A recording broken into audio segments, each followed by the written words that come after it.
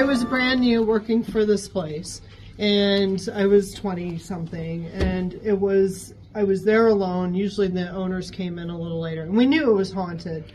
Uh, we had all kinds of things. We have all. I've got all kinds of stories about this building. Uh, so I was working, and it was a rainy day, and I heard that. So the way this building was set up, it was kind of it's long like this building here, and there was a door in the very back where we parked in the back, and we would come in. The very back rooms were storage and our framing area.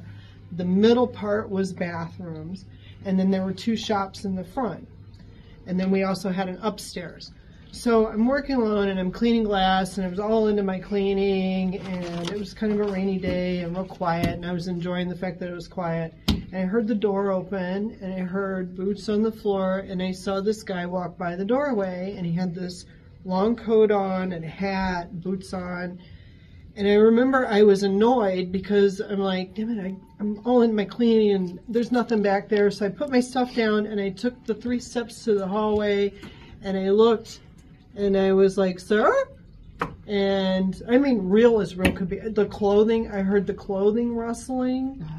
Um, and uh, so then, so I went to the very back, and I'm like, oh, he must, maybe he went into these back rooms. I'm thinking maybe he's like stealing something. Nobody back there, and then I checked the bathrooms, and there was nobody in the bathrooms, and there was no way he got all the way out the door. And then I realized that I had seen a ghost.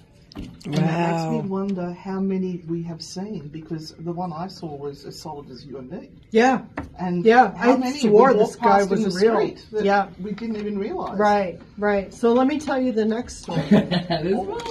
So we had an old phone here at, at this at this first location. We've been in three locations on Main Street. We've been here since 2001 or 2000, uh, right when it was the year 9/11. It was 2000, the year before.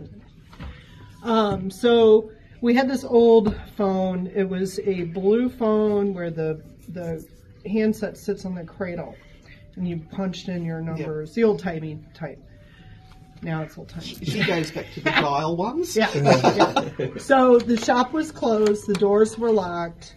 Uh, they were down in the basement. The basement was really cool because the basement was all limestone walls and a dirt floor. There was there was actually a tunnel that went out to the river that they had somebody had walled up a long time ago. The phone rings while they're down there. So Sandy starts to come up the stairs, and the phone stopped ringing. So she's Kim comes back down. She didn't even make it like to the third step, hmm. and so she the phone stops ringing. So she comes back down, and they, her and John, the owners, they're finishing up. They're moving boxes around and storage. They come back up. They finish like real quickly. They come right back up the stairs, and as they come up the stairs, they heard this bonk, bonk, bonk, bonk, bonk. Well, here in the States, when the phone is off the hook, back in the day, mm-hmm. you got like a mm-hmm. busy Yeah, tone. engaged. So when mm-hmm. she got to the top of the stairs and the desk was right there, so imagine imagine the staircase is hmm. right there. They get to the top of the stairs and that phone was off the cradle and sitting there. Ah.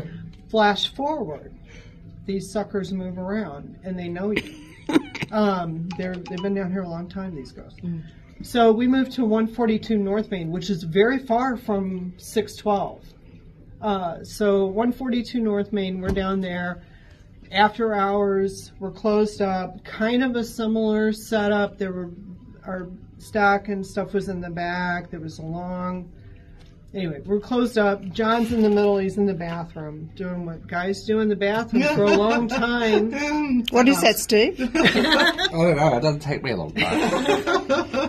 anyway, Sandy was in the office and she was doing her stuff, and the phone rang, and she got up because it was on the wall, and the phone stopped ringing. So she's like, she sits back down. Well, John comes out, however long later, and he says, Sandy, who was on the phone? And she said, Well, nobody was on the phone, John.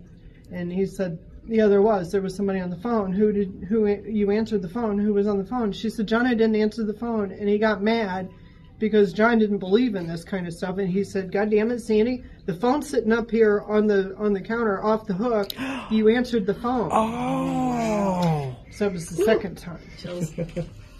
So the third time. And Oh. this is all the same phone, the same blue Yeah. rotary, whatever you want to call it, phone, punch, punch phone.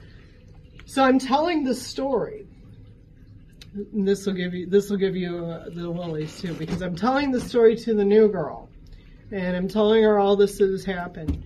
And as I'm telling the story, that phone went and made like this weird noise, and I was a little afraid of it. So I picked it up and I'm like, well, it's dead. So I told John, I said, hey, John, the phone's dead. And he got all aggravated. Remember, this is before internet and all that kind of stuff. So he had to go home, called AT&T. They came out. He thought it was a short in the wires or something. It wasn't anything. It hmm. was that the, the repairman said that phone had burnt itself up just like that as I'm telling the story. So they listen. Wow. Listen. They're listening now. Wow. Yeah, I'm waiting for Yeah. the phone to ring. I know, and they and they follow and they follow. They're they're intelligent.